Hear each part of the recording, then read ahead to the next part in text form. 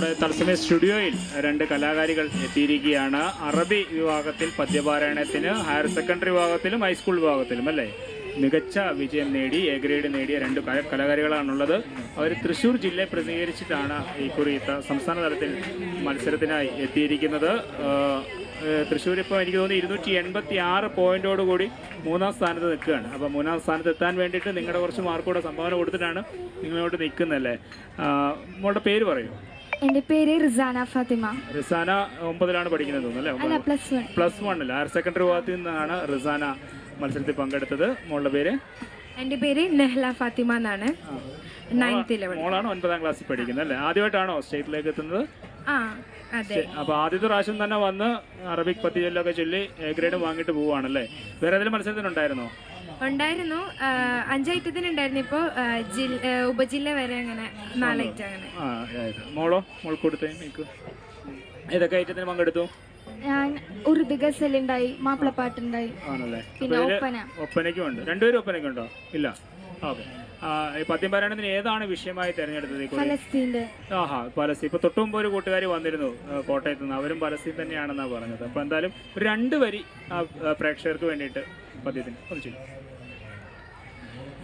خير ما فيه تعنوا راملوا فاعلة فاعلة فاعل يا بلا مشاهدات عزلا مشكلات واضطراب دائما. الذئاب إسرائيل دائر. يقتلون موطنون بلا عدل.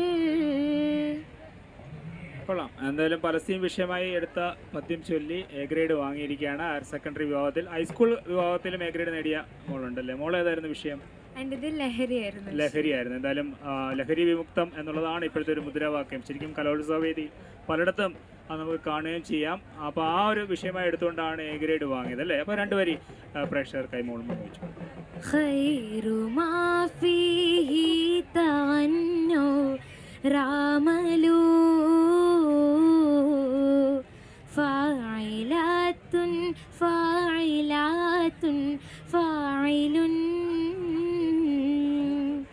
يا بلا مشاهدات حولنا.